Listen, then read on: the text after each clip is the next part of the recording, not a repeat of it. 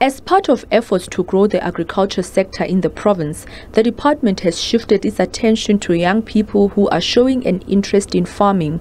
The 40 young people the department is supporting have studied abroad and now they need to take the national board exams before they can operate in the country. The department says it continues to invest in young people to develop future strategic economic role players. About 170 students got the opportunity to study overseas and 168 of them completed their studies. I got the privilege to go and study abroad. I studied research agronomy. I completed it. I'm a registered uh, agronomist right now. So I'm working at uh, FarmSol. Yes, so I'm a specialist uh, going in responsible for Free State.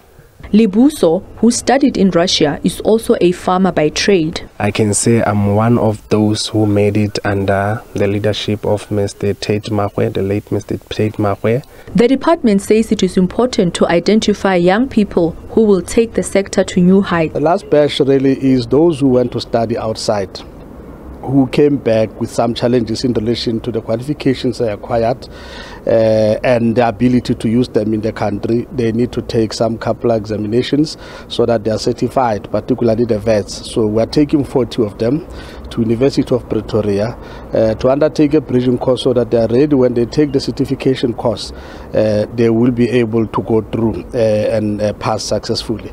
Various commonages across the province will also be serviced by a dedicated officer appointed by the department to help them breed market-ready livestock. We are also appointing 10 uh, young people who have studied in the agricultural space.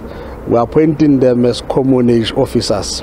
They are going to work with various communities that we find in every area in the Free State uh, to empower and force what we call uh, uh, enhancement of the livestock that we find so that our people can breed livestock that is really ready for the market. In his budget vote, Mokoena also announced that the department had supported 34 youth projects amounting to 55 million rands in the 2022-2023 financial year.